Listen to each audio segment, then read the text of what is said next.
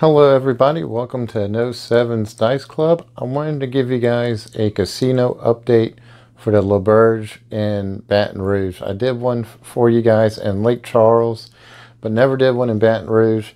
I try to shoot this video on location like I always do for all my casino updates.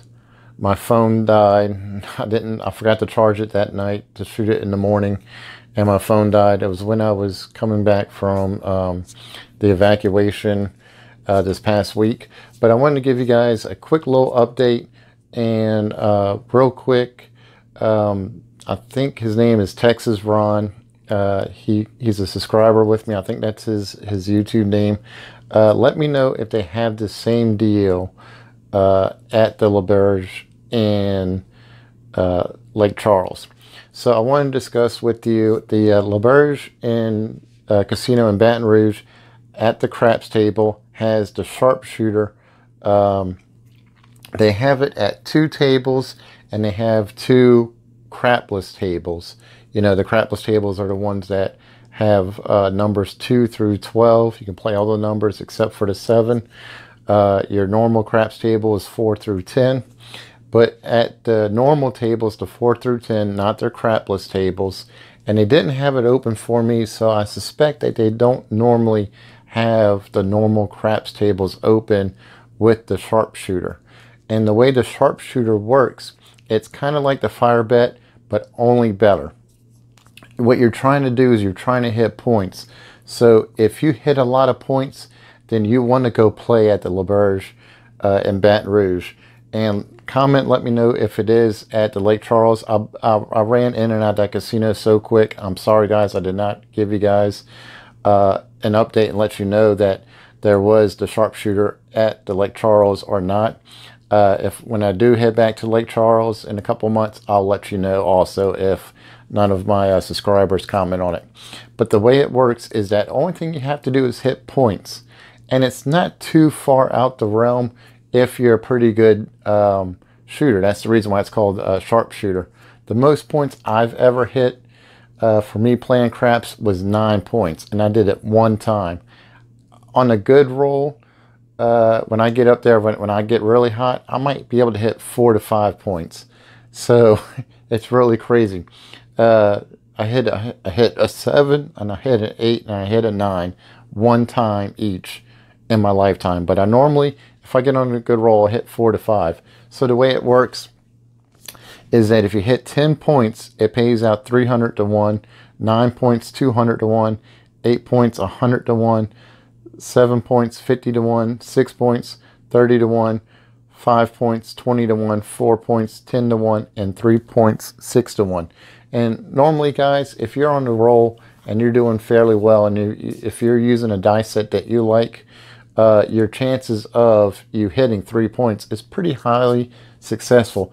And they also have at the craps table, each one, doesn't matter if it's crapless or, or just a normal craps table, they do have the all tall small and uh, it's $5 minimum. So you can go 555 and they had a guy who bet up to $100 each. I don't know if he got special permission or not. He came really close to hitting uh, the all and the tall. I mean, the small and the tall. He needed, I think it was the three and the 11.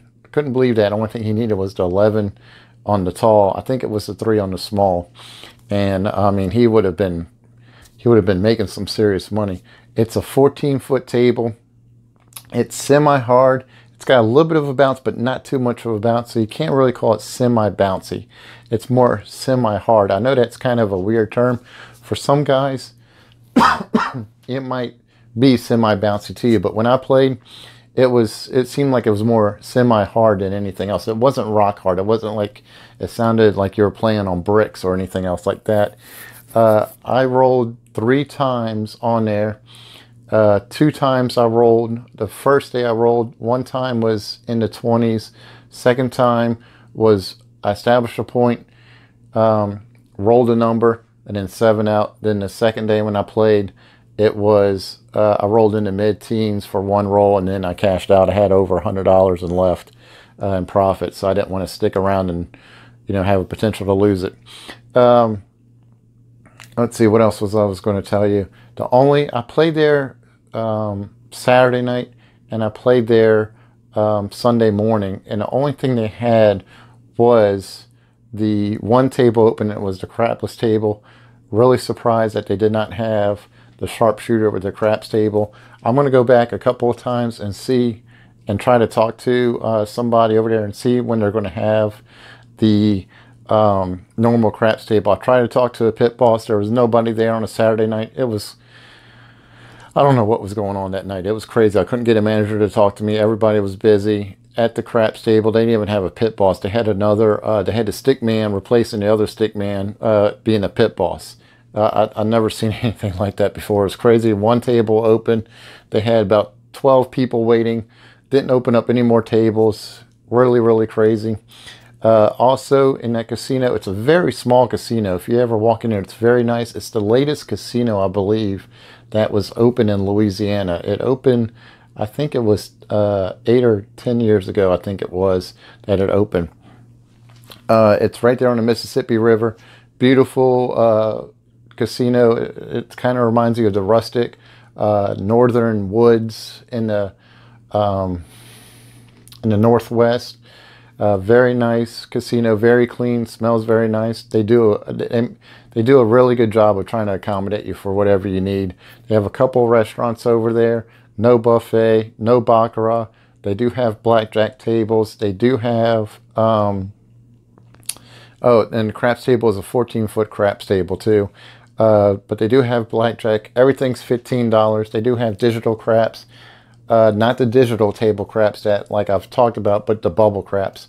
And they do have um, they do have roulette. It's fifteen dollars. They have the uh, electronic roulette. It's uh, I think when I walked over there, it was five or ten dollars. And then they have the stadium um, uh, baccarat, uh, not baccarat. I keep on saying baccarat, but the stadium roulette, the stadium uh, blackjack is over there. I didn't see baccarat, but uh, I didn't really hit the buttons and really search in the stadium. They might have Baccarat, I'm not quite sure. And uh, like I said, they have your usual three card stud, your Mississippi stud, your Cajun stud, I think is what was also over there. A couple of slot machines.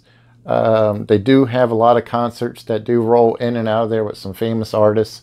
So they do try to keep it kind of trending, kind of up even though there is, it really is not a big casino. I mean, you can walk that whole entire floor in about 10 minutes. It's, it's really small. It's pretty much like being on a riverboat uh, casino. Uh, so that's pretty much about the L'Auberge in Baton Rouge. Uh, if you do have a chance to stay there, stay there. The rooms usually run about 100 to $150 a night. Uh, they do get kind of expensive on the weekends, roughly about 200 to 250 But if you're rolling through, uh, if you're if you're coming that way through Baton Rouge, go ahead and stay, check it out. Uh, there's a really good restaurant in Baton Rouge. It's called Mansur's on the Boulevard. If you happen to have a chance, book a reservation, go there to eat. Mansur's on the Boulevard. Well worth it. Great restaurant. Uh, it's a little pricey. It'll run you about, you know, $20, $30 a plate, but really, really good food. It's about 12 minutes away from the casino. Uh, if you're going through the town, just go stop at a in Baton Rouge. You won't be disappointed. Very clean casino, very nice, small, uh, $15 tables. And hopefully when you pass by, they do have uh, the sharpshooter open at the normal craps tables. Um, but I think that's pretty much about it. Um, I can't really think of anything else about the. If you guys have any questions or comments, just let me know. I wish I had a little bit more information, but like I said, that Saturday night, I could not get a, a pit boss to talk to me. I couldn't even get a casino manager. Nobody to talk to me that night about this casino, so I'm just giving you information that I've recon and just relaying back to you. But I really do like this um, this craps table. Very nice craps table. Um, Hopefully they do open up the sharpshooter. I can tell you about it a little bit more, but this is the information I have right now. Wish you guys lots of luck. Thank you for tuning in, checking out this video, and I hopefully have a couple more videos coming to you in the next couple of days. Good luck at the casino, guys.